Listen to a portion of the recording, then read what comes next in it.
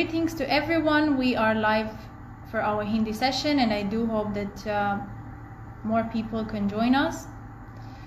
Uh, so today it's um, third of our workshops that we're doing uh, virtually online.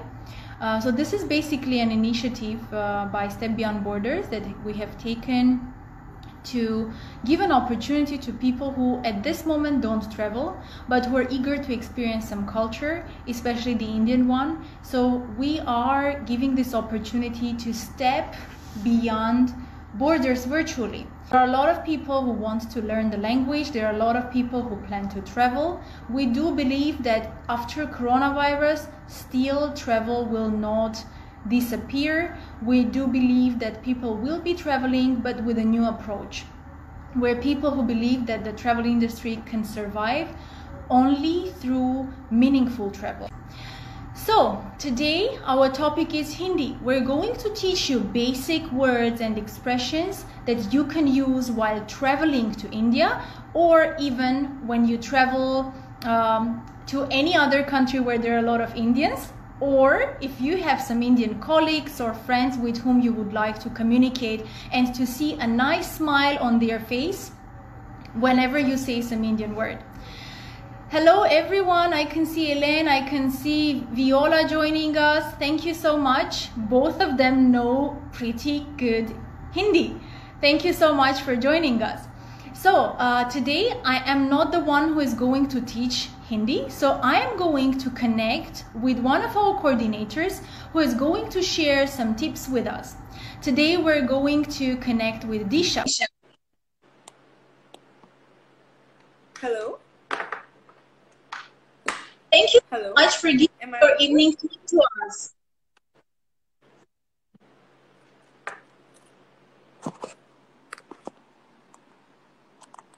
So, Disha is one of our coordinators and she is from Jaipur. She is a young lady graduate from Mumbai who traveled also to many, many cities in India.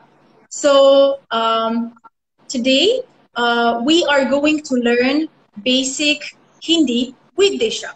Disha, the floor is yours. Please teach us this wonderful language. At least Okay, some, some words. I hope you're doing fine though. Good, thank you. All right. Uh, namaste, everyone. I am Disha, and today I will be introducing a few basic words in Hindi and a few phrases, a few things in Hindi, do's and don'ts, that can really help you get a more local experience, understand the people better, and meanwhile, the country as well. So, uh, I also hope everyone is safe and healthy at home. So, I'm just going to begin now. So, uh, to give you a little background of where Hindi comes from, is Hindi is originated. okay, uh, so basically, Hindi is originated from Sanskrit, like I was saying, and Sanskrit is considered the mother of all languages in terms of its grammar and its uh, pronunciations. It, it it is considered to be very very scientific. Uh, now, uh, you might, I'm pretty sure all of us must have heard of words like guru, karma, and yoga, yog, all of these words which are really common in, in our language. But there are also a lot of words in Hindi which have been adopted and, and uh, made better in the English language, like mother, name, royal, and many more words have been adopted from the Hindi language. Uh, now, most of our cultural programs are based in the local communities.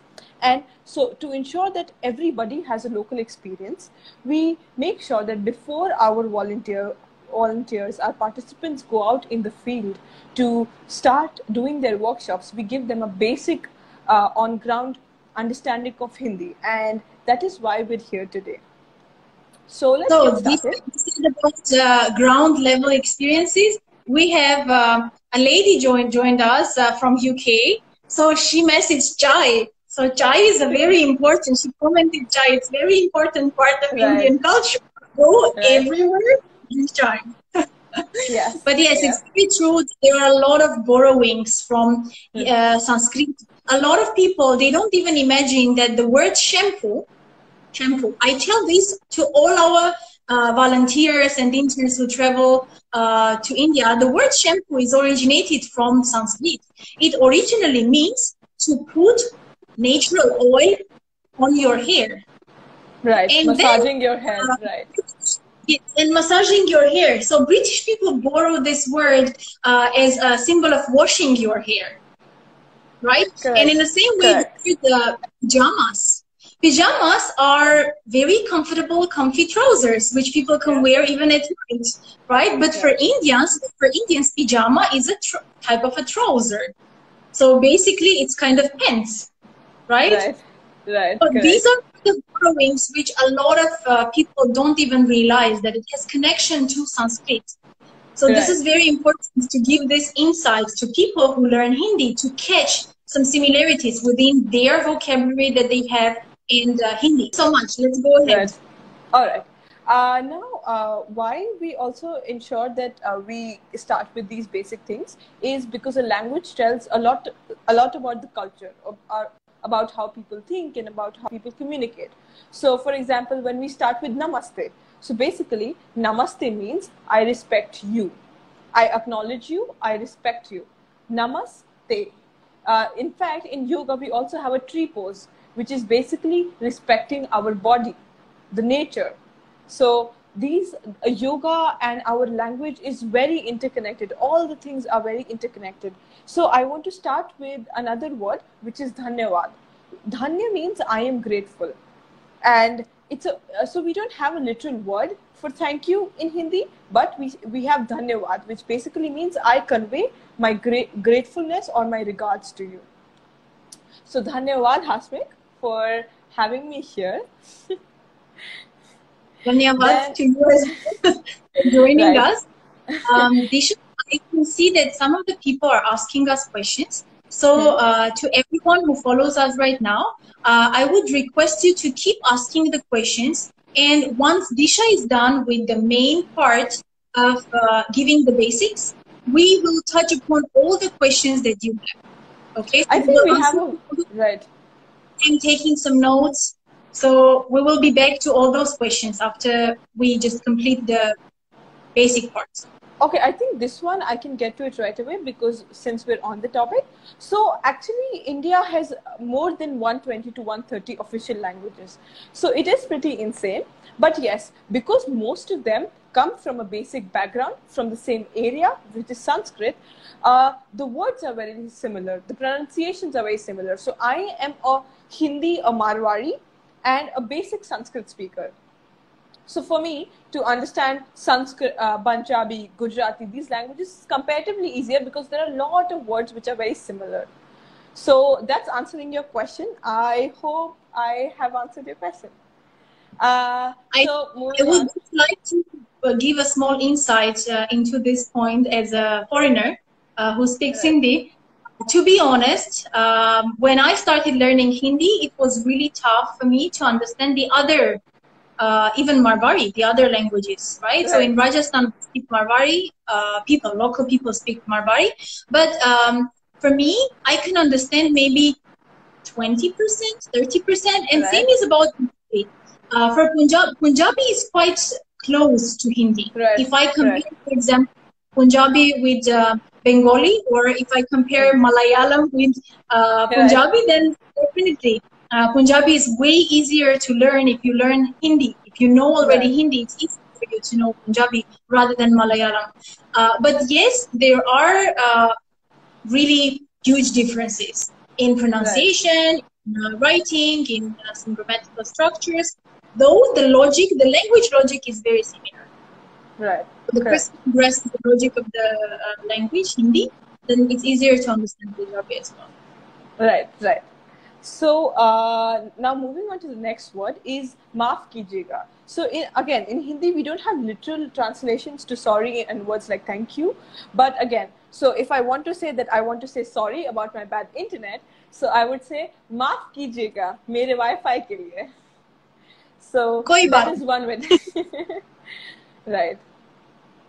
Now, uh, moving on is uh, now I'm going to move on to basic pleasantries where people, where how are you, where are you from? So these are the basic conversations which people can have with local people.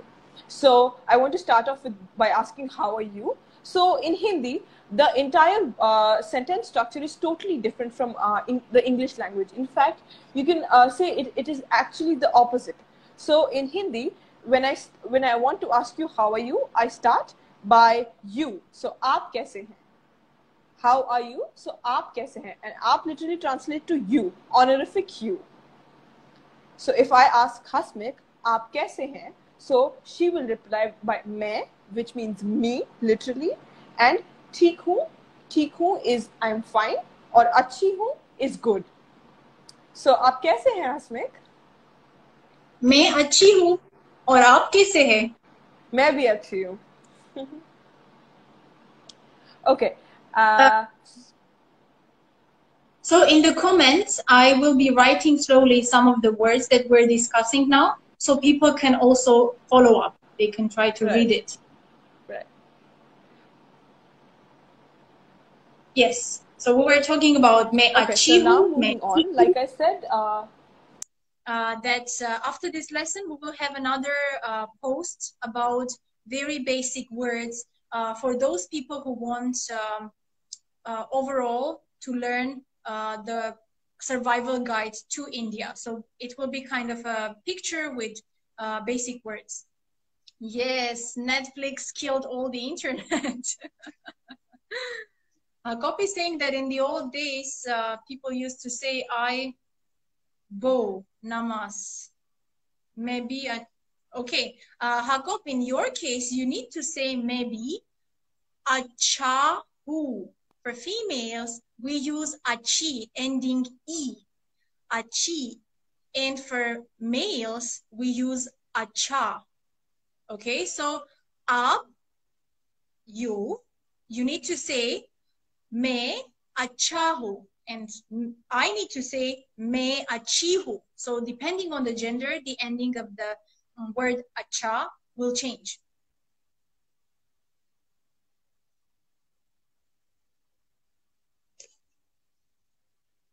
Let's see whether Disha is able to join us.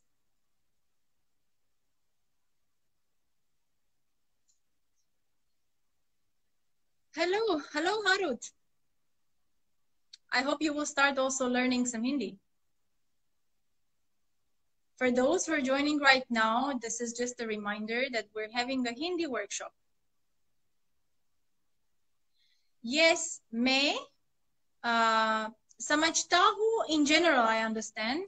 And uh, samaj sakta hu, it means I can understand. So these are kind of um, Aplav, uh, you're saying that joining hands together and bow down nowadays also, we do that. Yeah. Uh, when you say namaste, you generally um, don't touch anyone else except your own positivity, keeping within your own circle. So you just touch both your hands together and say namaste. Basically, namaste has so many meanings. It has uh, the meaning of um, namaste is uh, very diverse. People uh, have different explanation uh, of usage of namaste. It, besides just saying uh, people bow down and say hello for the day, uh, they also believe that when um, someone is uh, practicing yoga, someone is feeling himself or herself with positivity through meditation, they should keep this positivity within themselves and this positivity can go out basically if you touch someone negative. Uh, so this energies should be kept within you and uh, people prefer to keep their energy within the, themselves and their uh, divinity their gods so they uh, circulate their positivity within their own body. And then another explanation is there which also says that uh, people do namaste to connect uh, the um, upper powers, which are the gods, with your own uh, soul. So it's basically uh, putting your hands um, together, uh, pointing up, which also has the meaning of uh, giving kind of uh, connection of your soul and um, your current gods. Step Beyond Borders, how much Hindi should one know to volunteer? Uh, that's a wonderful uh, question. Most of our volunteers, when they travel here, they don't know uh, any Hindi. We do have some uh, volunteers who came uh, to us knowing already some basics, but most of our volunteers who go to uh, volunteer in schools, slums, uh, hospitals, they don't know any Hindi. They learn the basics from the workshop that we provide. We provide at least one workshop covering the main words and expressions. But at the beginning, at least for one week, Step Beyond Borders provides um, a coordinator who supports uh, the project uh, for the translation. And basically, one week is the period of kind of incubation for us, which means that the person will uh, get adjusted to the project and most importantly to the reality of india because a lot of people they experience cultural shock. They um, uh, start feeling the culture only after one uh, week because first week is confusing. They don't understand how the life works let alone how the project um, uh, works what uh, we expect or what the beneficiaries expect. However the same is also from the other side. The beneficiaries also need one week to get uh, acquainted with the uh, volunteer to understand their working style to understand even the basic words uh, that uh, the volunteer will uh, use while talking even if it is in English, because uh, many of our beneficiaries they don't speak English. Yes, we do have projects where we've worked uh, quite really hard uh, during several years. Uh, one is, for example, Deep Public School, where students started from totally mm-hmm. zero English, and now they do have a pretty good level of English and they can understand our volunteers. Another one is one slum where we work for child education and we do kind of extracurricular activities for them, and English teaching is one of uh, the programs that we have. So we've we've had really good number of volunteers who came and uh, gave a lot of time to the students to understand uh, English. But uh, when we talk about uh, knowledge of Hindi to volunteer, it's actually not 100% um, obligation for any volunteer. We do appreciate if the volunteer already knows some um, Hindi, but if you don't know, you can learn the basics when you're already here. And then we do have support for our volunteers, at least for uh, one week till uh, both the sides of the project will understand each other smoothly. Usually language does not uh, become a challenge for us. Uh, even smile can be a, lang uh, a language um, barrier uh, overcoming option for people because people can simply communicate with hands and with gestures. We've had a lot of volunteers who, who were not also perfect in English, but they managed to fulfill a project not something related to English. It could be like construction, it could be sports project, uh, having um, different types of uh, non-verbal communication with your beneficiaries. So yes, learn Hindi. It's quite important if you want to uh, be independent in India, if you want to show people that you appreciate them because for us the most important part is not just for you to know the basics of hindi and uh, uh, to kind of uh, connect with some random phrases. But the most important part is that you should share some words with the local people and they will feel really happy hearing a foreigner talking Hindi. Uh, so moving on. So what Hasmik said to me was nahi. That means no, not this time, not again. But chale, let's uh, let's go ahead. Chale means uh, let's go ahead. Now uh, next thing is uh, aap kahan se hain, which basically means people are curious where you're from. When you're on the project, there will be a lot of people who would even just try to, most of them would just try to have a basic conversation with you. And this could be a really good conversation starter, which is aap kahan se hain, which means you, kahan se, where are you from? So if I ask Hasmik, aap kahan se hain, so she will reply by saying, मैं, her country name, and say whom. सो आप कहा से हैं आसमिक दिशा मैं Armenia से हूँ। आप India से हूँ?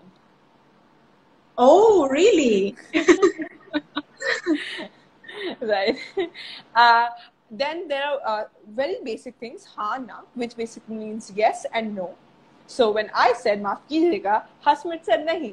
दैट मीन्स ना। ना और नहीं। These are replaceable words again mm-hmm. there are a lot of pronouns we have for each word so it would be easier if you stick to probably one or two and then you know you, over time you will get used to them. So na, nahi, no. These are different different pronouns that we use. Uh, then uh, one quick tip that I give, I, I try to give to every foreigner, is the using the word ji. So, for example, uh, if I want to show my respect to anybody, so Mr., Miss, Mr., Master, uh, one quick hack to this is ji. So basically, after the name, I say ji. So when I address Hasmik and I want to show respect to her, I say Hasmik ji, aap kaise hain?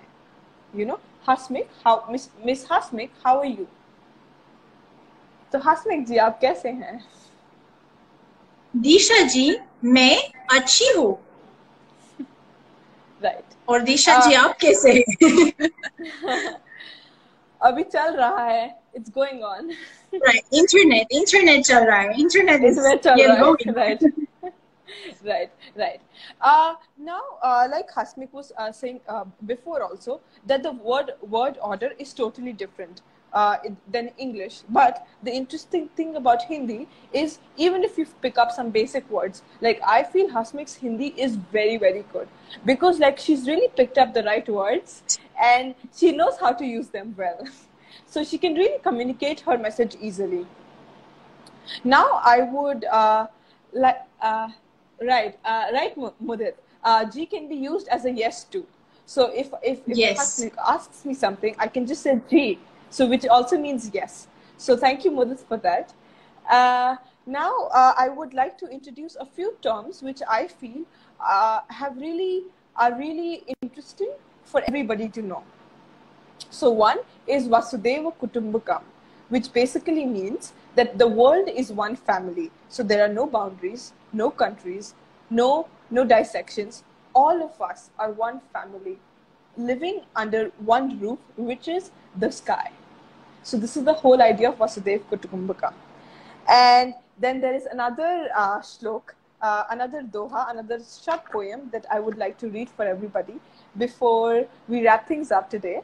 So uh, this is basically about. Uh, so I, will first say it in uh, Sanskrit, uh, in Hindi, and then probably translate it. So it says, "Pothi par par kar jag, mua pandit bhayana koi," which basically means by reading a lot, lots and lots of books, you not become a scholar man.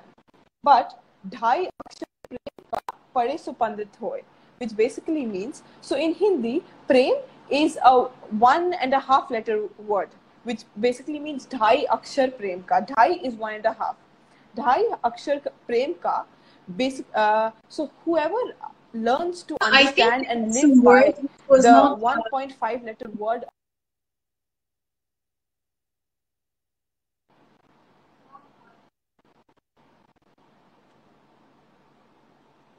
Uh, Disha, I think there was Hello. some word which was not clear to everyone. Um, I think there uh, it's about the phrase that you said, the beginning phrase that you said. Okay. Uh, because there is a question. What was that Vasudev word? Kutumbakam. Okay, probably I'll I'll right. I'll type it out. Okay, so I've posted that word. It's basically Vasudeva Kutumbakam very long Hindi word. right, right. Uh, which basic. So this is a, uh, an entire philosophy in itself, which basically means that the world is one family. Right. I think you're correct. Yes. Yeah, already commented. Right. Right. Right. Right. All right. Uh, so the the last uh, poem that I would like to conclude with is this one that whoever learns to understand the 1.5 letter of word and live by it is the real learned man, is the real knowledgeable man. And this one thing that I have feel, felt through our programs when I go out with the volunteers in the field is even if you don't know the know Hindi, even if you know how to convey love through a smile, through a kind gesture, people do understand yes. that. Love is a language that everybody speaks. And the ones who know how to speak the languages are the real heroes of this world.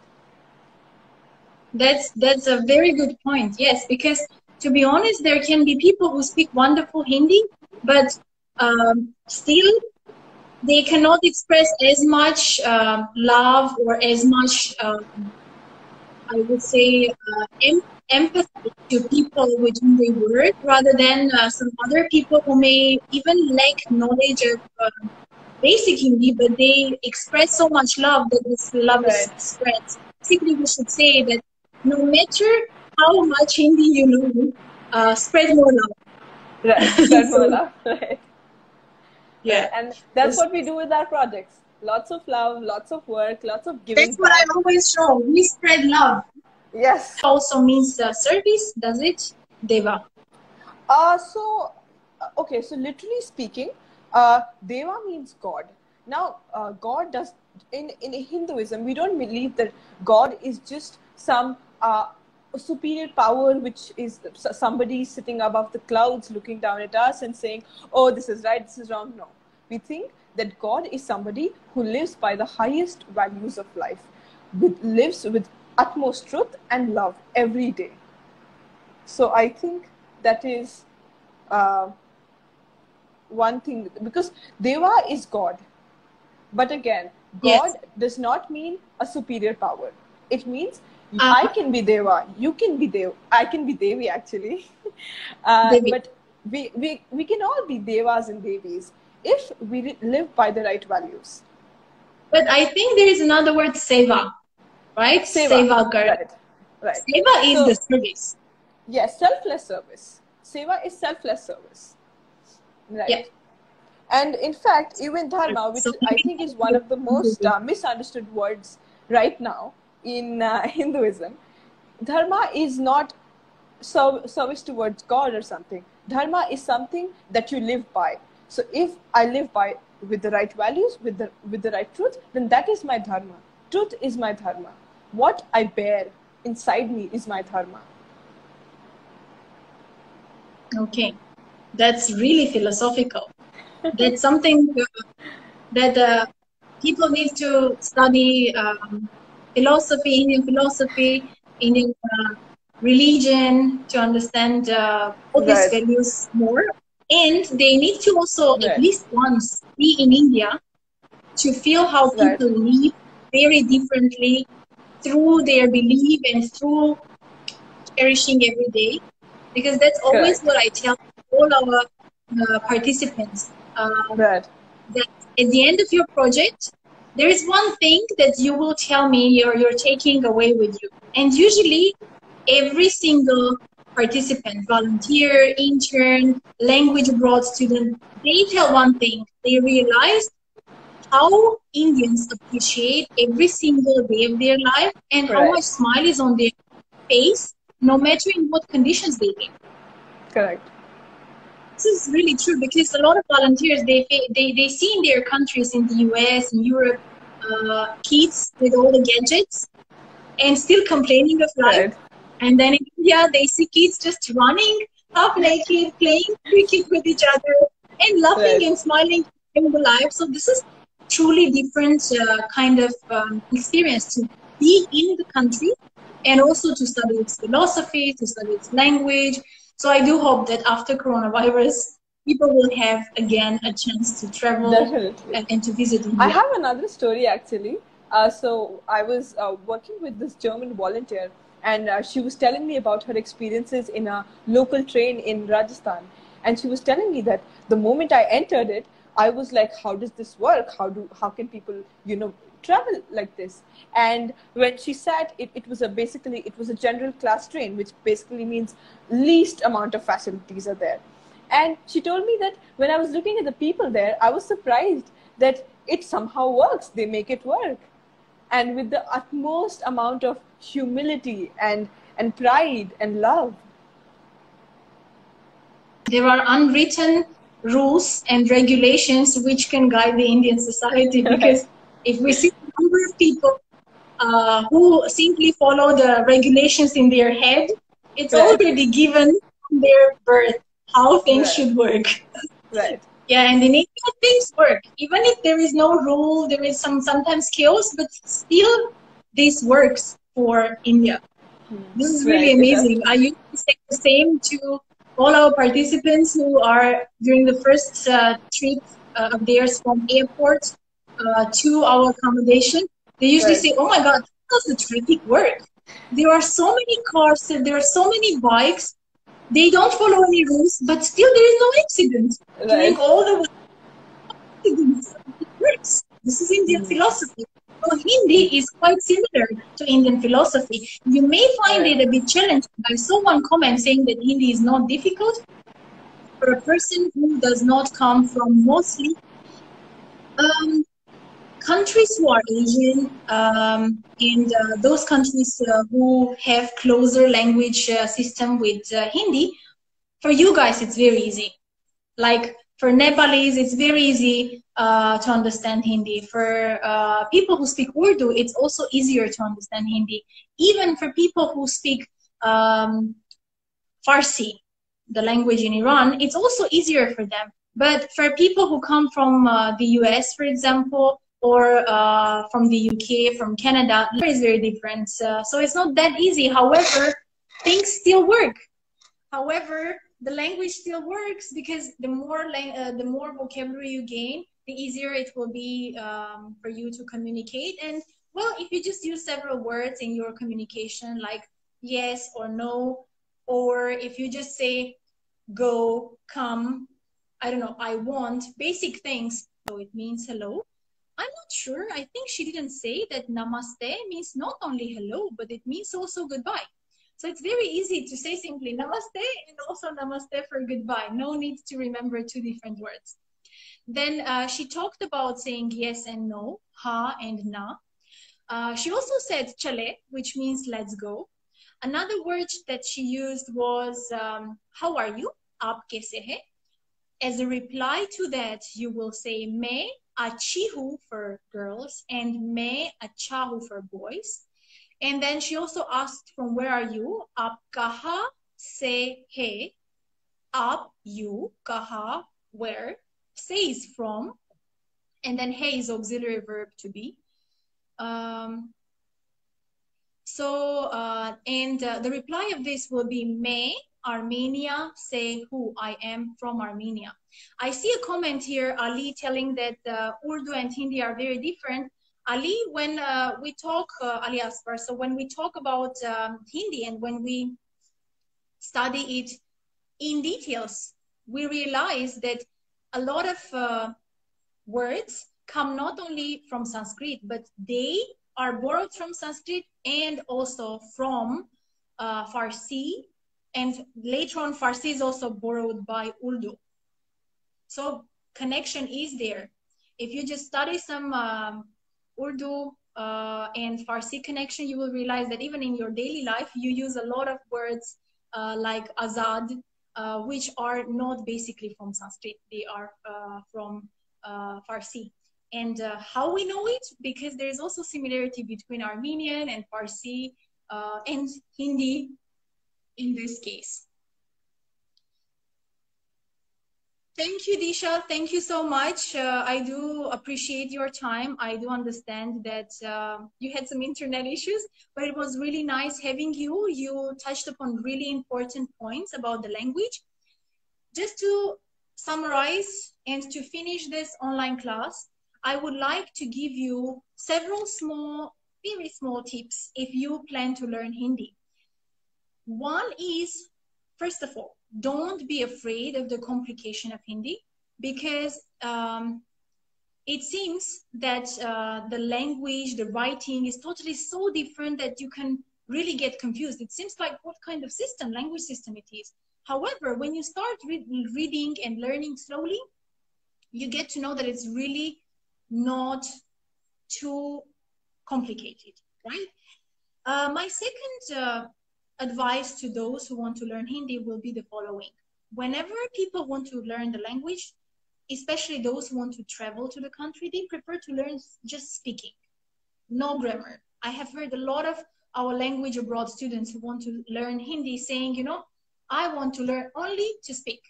However, I would definitely advise all of you to start also learning slowly some letters. Why so? Uh, in fact, a lot of Indians, uh, they write with Latin scripts as well. When they chat with their friends or when, when they post something, you could see that a lot of people, Indian people, they uh, simply type with Latin script. Uh, but in English, there are a lot of letters which don't exist. For, uh, sorry, in Hindi, there are a lot of letters which don't exist for English. Uh, Hindi has uh, three different varieties of three different varieties of t. So basically, there are different letters which you cannot even hear or you cannot even write in Latin script. For that, you simply need to learn the alphabet uh, of Hindi so that you can understand the differences, mild and slight differences in the letters. Just a very small example. Um, we have a student uh, who at the moment studies Hindi uh, with Step Beyond Borders uh, virtual language program. So she was uh, constantly asking uh, the teacher, because she didn't learn the letters yet. So she was asking the teacher, why do we write girl, larika, L A D K A, and not L A R K A? Basically, in Hindi, um, you, you hear it as larika. It's a, that sound r is simply not possible to mirror in English. This letter does not exist in English. So in Hindi, people simply think, you know, you can put D and you can pronounce it R. So it's similar to D. However, for someone who speaks English, they will pronounce it as Latka, simply D. So to escape this confusion, my second tip is learn letters even if you cannot read all of the letters because there are so much combinations of vowels and consonants still learn the letters so that you can differentiate which letter is pronounced how. So my third advice to everyone would be listening to bollywood songs. Try to listen a lot to bollywood songs and try to get the lyrics. When you get the lyrics you try to repeat the words and this way you can learn. Um, yes, we are saying larki as a girl and larka as a boy. Um, I, did I confuse it? I'm really sorry if I said larka and I said girl. It's boy. Uh, larki with e ending, it's the girl. Um, so I was saying that if you watch a lot of uh, Bollywood uh, songs, listen to them, and then try to repeat the lyrics, it will help you because uh, there are a lot of common words which uh, are repeated in the same song. So you can listen to it several times and you can mem- memorize it. And then the next tip would be simply to, if you have enough time, to watch uh, Bollywood movies, the full movies with uh, maybe with uh, transcript, maybe with the words uh, showing on the screen. This way you can also learn uh, the language easier because um, it's it's a proven fact no matter how much you simply study, you need some practice. And the practice is speaking as well as listening. So both is needed. So um, Disha is giving a nice movie recommendation. Ye Javani hai Divani. Okay, so this youth is quite crazy. This is true. Thank you so much, Disha. I do hope that the people who are following us uh, may have the chance to watch this uh, movie. I have not watched it. I can definitely take this as an opportunity to go and watch this movie. Thank you so much. Uh, so, guys, um, to sum up, uh, I would uh, definitely advise all those people who want to learn uh, Hindi, keep in touch because uh, we will be happy to reply to your questions uh, on our page. But also, in case you're interested in some professional courses, you can uh, seek for some online options at this moment. And then you can also check uh, our webpage, uh, stepbeyondborders.org, and you can see some of the options of our language courses there as well. Uh, because when the coronavirus runs away from this world, I hope it will be soon. Uh, we do hope to have um, different people who travel to India, not just for uh, tourist purpose, touristic purpose, but also to learn a language and to volunteer or to do internship. So thank you so much to all of you for being with us live. I hope you enjoyed this Hindi session